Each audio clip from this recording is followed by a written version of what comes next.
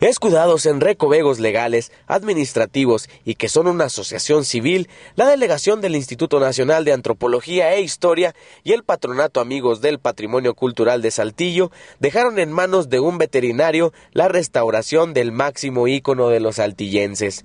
En conferencia de prensa, el exdelegado del INA, Francisco García Pérez, y el presidente del patronato, Donato Gutiérrez Murguía, evidenciaron que tal y como Zócalo lo anticipó, la burocracia y la privacidad de las decisiones del patronato dejaron en manos inexpertas la rehabilitación de la catedral.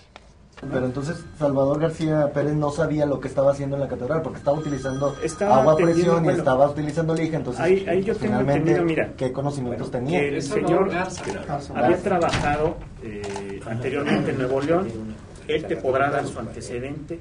Yo cuando hablo, cuando inicia la obra, yo me comunico directamente con el director del Centro de Nuevo León para reportar que va, se va a entregar a este señor. E, él quedó en enviarme la información si había algo, algo, algo erróneo ahí. Nunca hubo tal contestación, entonces nosotros en estricto sentido con la organización y los trabajos, hay que recordar que son trabajos artesanales.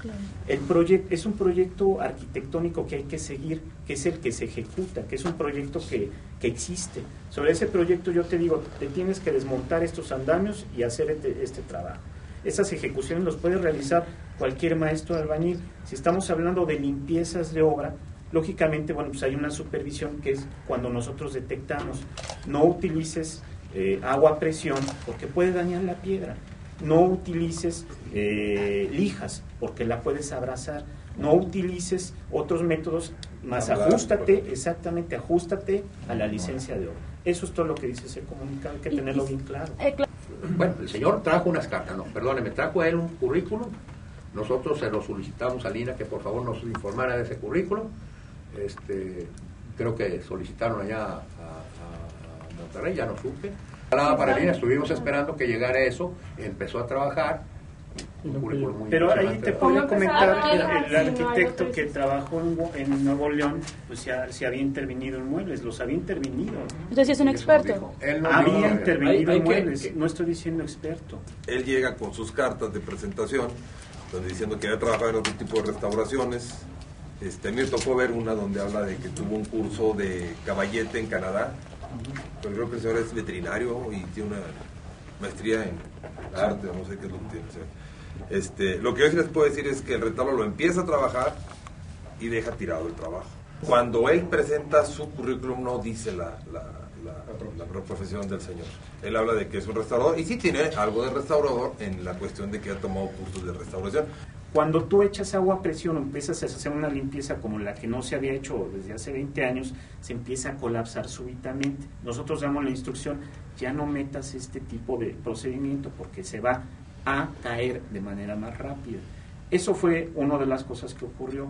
La otra que las limpiezas de este tipo de, de elementos no se pueden desarrollar con elementos mecánicos, es decir, con una pulidora, con una lijadora, simplemente con lija de agua no lo puedes hacer el INA nos, dice, bueno, nosotros conocemos a, personas capacitadas, ¿verdad?, que han trabajado en el convento de Santo Domingo, en la Catedral de Oaxaca, este, que son expertos. Le digo, bueno, pues mándenlos traer, por favor, hablamos y, de acuerdo a un presupuesto, este, se traen, ¿verdad? Y luego tomamos la decisión de que, de que se los vamos a poner al señor Garza Pérez para que lo refuercen y el señor Garza Pérez exclusivamente administre la limpieza la realiza o la ejecuta una persona, en este caso Salvador. Cuando nosotros determinamos que lo más recomendable es que se atienda con gente experimentada, es cuando llega la gente que había trabajado en la Catedral de, de, Oaxaca y que ha trabajado en remoldeos, que es un trabajo más que nada artesanal, preparando mezclas, morteros, con todos los procedimientos técnicos y especificaciones que la materia lo requiere, que son muchos, ¿no?